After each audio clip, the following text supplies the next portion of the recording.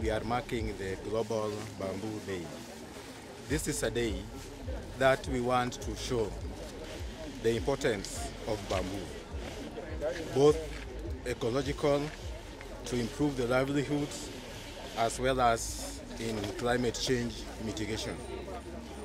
In Migori County, we have a low forest cover, and that is an opportunity for us to propagate and plant bamboo in ecological restoration.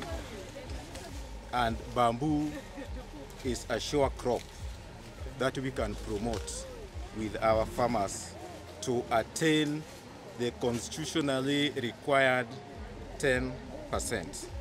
Uh, we are focused on bamboo because of its various ecological importance. Of course, Migori County used to plant uh, tobacco, and you know the environmental impacts of tobacco growing.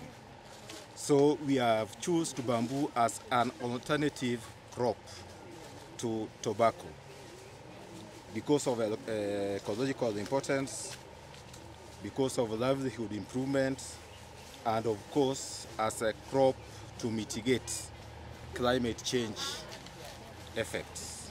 One of the main reasons why bamboo is being promulgated in Migori County is because it's an alternative cash crop to our people. We are encouraging our farmers and everybody else to plant bamboo in even a little space in their farms.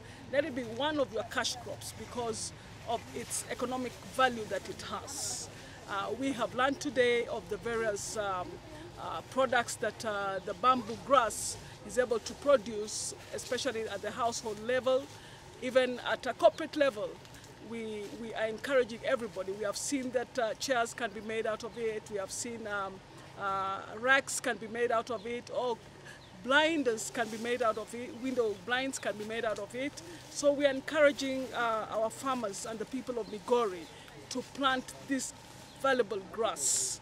Uh, and many other things, conservation of our riverines and all that. So we encourage everybody to plant at least a tree or two. When you cut one tree, plant five trees. So this is the way we are going to strategize into to ensure that uh, Migori County is covered by a, a larger tree cover. The governor assented to the climate change uh, bill and now it's an act. Uh, we also have the Climate Change Fund Act in place and uh, all these policies will enable the county government to go forward in issues of climate change. As we all know and are aware of the impact of climate change in this country and even Migori County as a whole. Panda usiogope. Panda. Panda mkulima. Yeye lazima ime.